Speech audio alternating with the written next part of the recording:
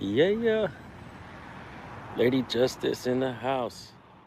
Keeping the balances of justice level with the light of liberty shining bright. You're so silly. What? Yeah, yeah. Right. Yeah, yeah.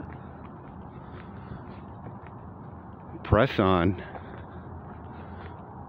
We got gang activity.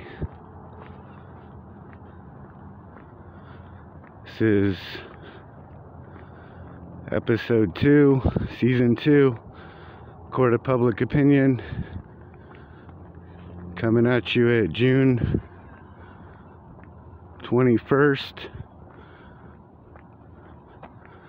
2021 at 4:20 p.m. Tulsa time. Yeah, yeah. Smoke it up. So, be sure to catch the light of liberty shining bright immediately after this. 420 mountain time. Now I saw this gang member with a flashlight over here and he's walking that way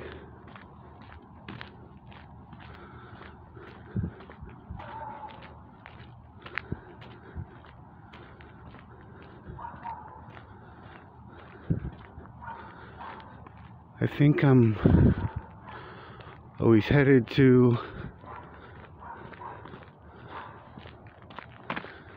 this house up here with the lights on.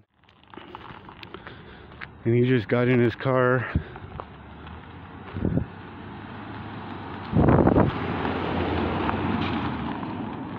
And he's fleeing scrutiny.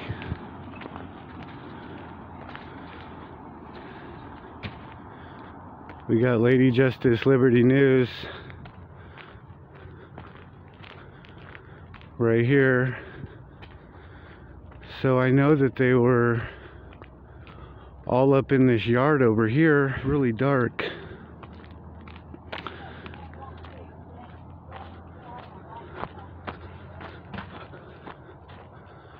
Oh, I can barely see. I'm in an alley.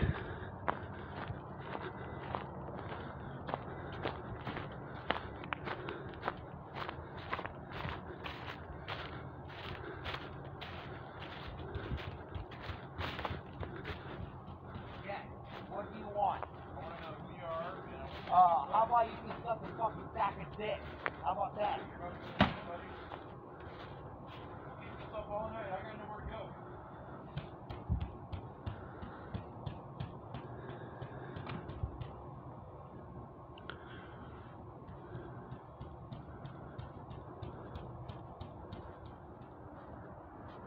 Hello. Is that Miss Dudley? How are you? I see you brought your uh, husband. Member over there. Can I get your identification, sir?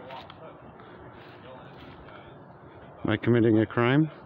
So you did, you and her, um, I believe it was two or three weeks ago at a park here in Nampa.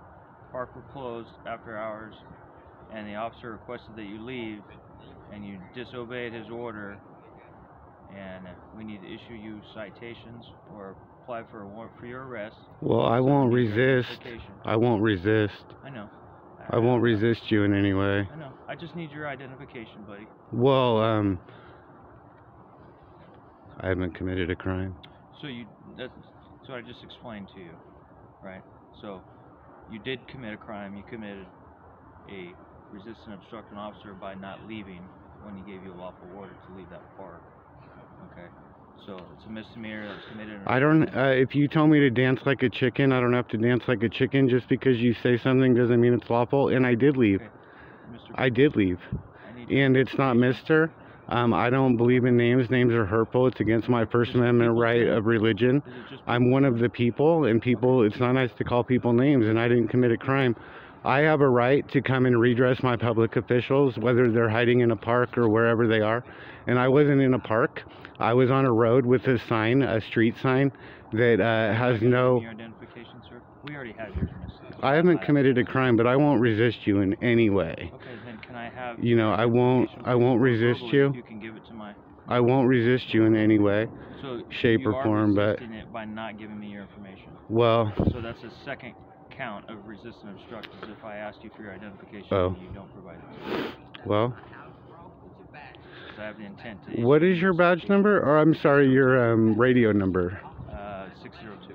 Six zero two.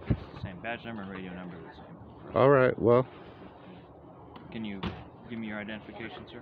I, I haven't committed a crime, and 3802 says I don't have to give an ID until I've been under placed you. under lawful arrest. Okay. You haven't placed me under lawful arrest, and if you I do, the intent to issue you a misdemeanor citation. oh, actually, there's no failure to ID in Idaho, so So, sir, there's no such thing.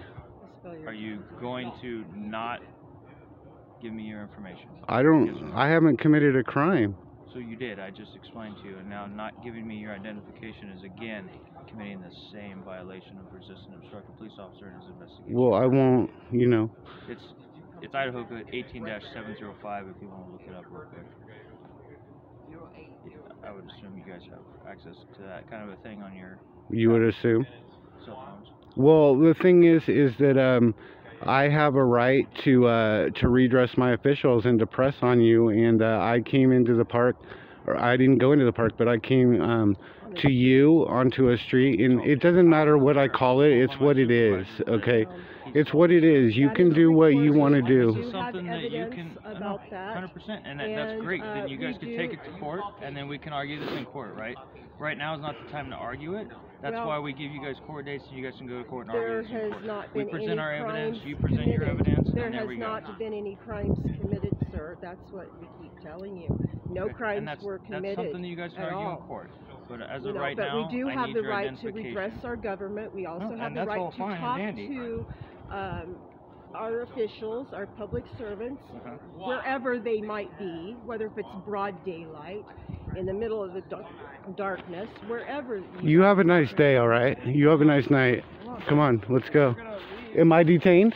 No. actually you are Oh, I'm detained. you are Well, I won't resist detainment or anything. If you say I'm detained, if you guys could both hang out here so I get issued citations I would appreciate it I mean, I I'm not I'm not stopping you from doing anything. You're, you're stopping me from issuing you a citation because I need your name for that. Your name and birth date, if you would, please. Again, sir, names are hurtful, and it is not nice Okay. to call people names. Well, he was given a name that. at birth, right? It goes against his religion, his First Amendment protected, constitutionally protected activities. First Amendment Uh-huh. doesn't cover names. Uh, it does cover religion. Why don't you need right, to go back and look at that, okay? It does cover religion, it doesn't cover Yeah. names. well, okay, well, there you So, go. Check sure. it out. Your Maybe first names name are and last part of please, and date religious birth. beliefs. Maybe names are part of. I have a First Amendment right to uh, not make speech. Yeah, you this do is- have a right is- not. This is going to go one of two ways. Yeah, either I'm gonna press on or I'm gonna press harder. So That's I'm-